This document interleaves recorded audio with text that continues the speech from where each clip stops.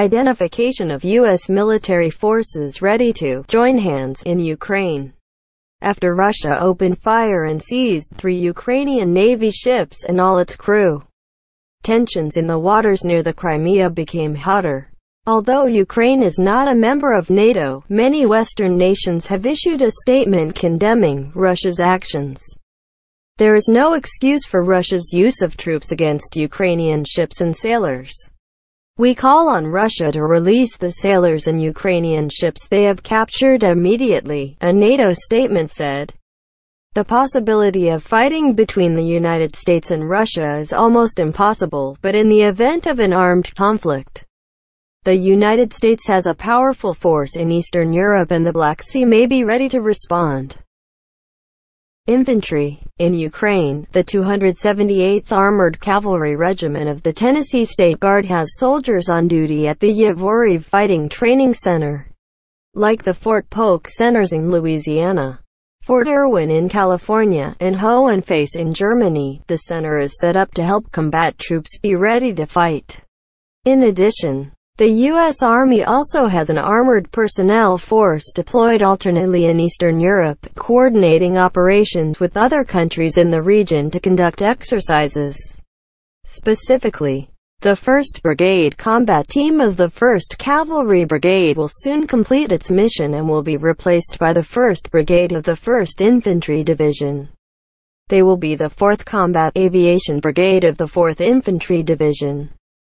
Maritime forces. American Marines have a relatively thin presence in the Black Sea. Marine groups operating here are members of the Black Sea Rotation Force, a group of several hundred U.S. Marines and sailors engaged in joint exercises in the area. Despite its small size, the presence of U.S. Marines in the Black Sea was an effective defense against any aggression. With high maneuverability, U.S. Marines in the Black Sea operate everywhere in the area and help train local soldiers to improve security.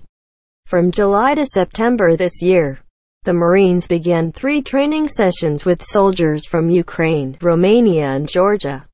One of them was the Sea Breeze exercise in Ukraine, which involved about 50 Marines. This activity involved heavy armored vehicles and has caused Russia to express grievances. These military operations are taking place close to the conflict zone in southeastern Ukraine, where troops continue firing on the cities of the Donbass every day, although a ceasefire was announced on the 1st. 7. Russian Foreign Ministry spokesman Maria Zakharova said, such military demonstrations will not help stabilize the situation in the region. Air Force the U.S. Air Force has also held remarkable military maneuvers in Ukraine this year.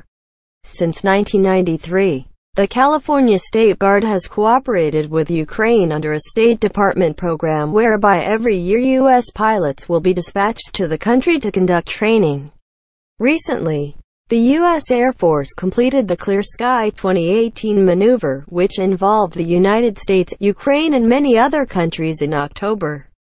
This is the largest aerial maneuvers in Eastern Europe ever, said Lieutenant Colonel Robert Swertfager, program director. The exercise will enhance the ability of the California Air Force and the Ukrainian Air Force to coordinate military support operations, network protection campaigns and regional security assertion activities.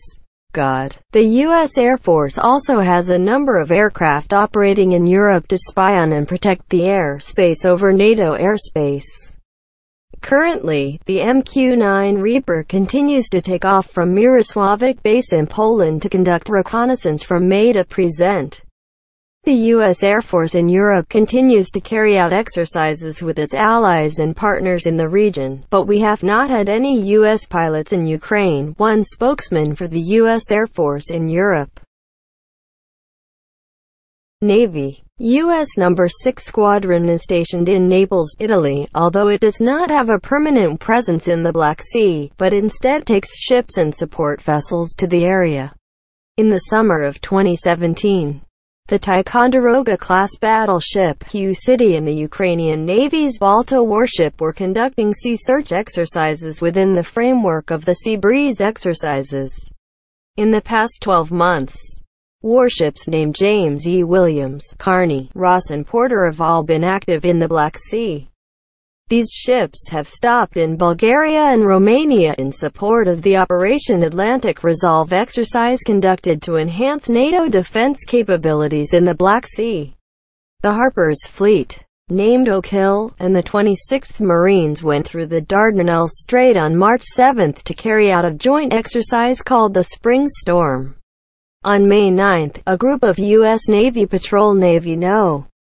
10 deploy the P-8A Poseidon reconnaissance aircraft to participate in the NATO Sea Shield exercise. On July 7, the No. 6 squadrons Mount Whitney aboard entered the Black Sea to participate in the Sea Breeze exercise with Ukraine and conducted various combat exercises.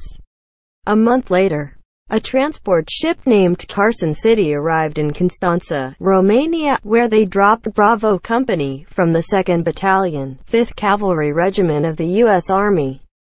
The ship then brought troops and military equipment from the city of Poti, Georgia, back to Romania.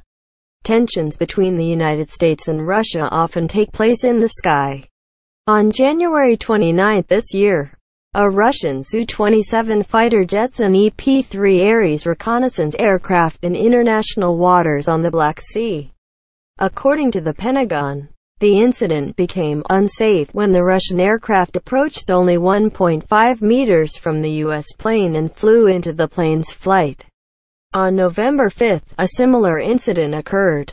A video of the Pentagon's announcement that a Su-27 aircraft in the starboard section of an Ares EP-3 aircraft was tilted to the right, unexpectedly launching Russian planes and forcing U.S. aircraft to fly in smoke exhaust.